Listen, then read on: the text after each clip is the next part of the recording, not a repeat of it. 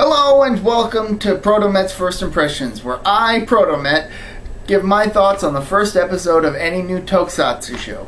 And today, I just recently got finished watching the first episode of Ultraman Orb.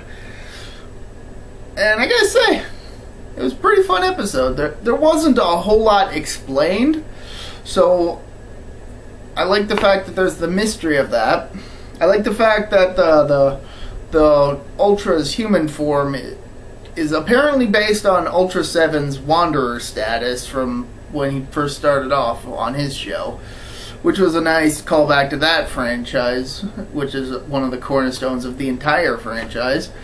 I, I like the fact that the series has a bit of Ultra Q to it in the form of paranormal investigator team that are trying to figure out, you know, the paranormal stuff, figure that out.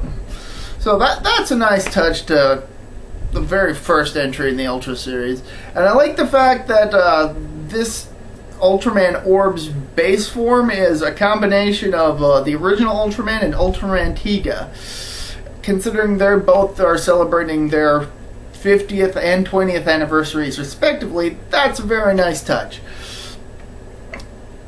The villain I, I don't really know what to think about the villain right now. That we really haven't had too much development on him. So that'll be interesting to check out.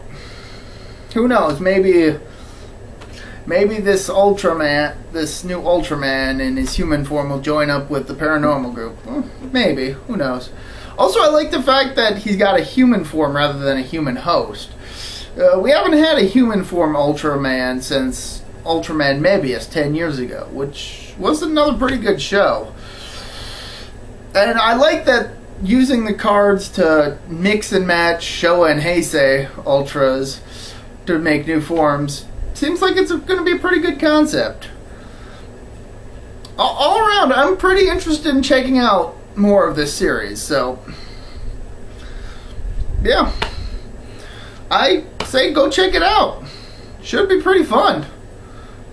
There's rarely a bad Ultra series. I mean, I'm not saying there isn't a bad Ultra series, but it's pretty rare. So, yeah, go check out Ultraman Orb. And awesomely, it's uh, it's over on Crunchyroll, where they those guys also have a bunch of other Ultra shows. I go check those guys out for fun. Uh, this has been me, Protomet. See ya.